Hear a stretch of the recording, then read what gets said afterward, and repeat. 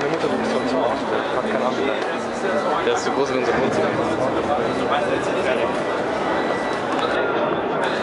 Thank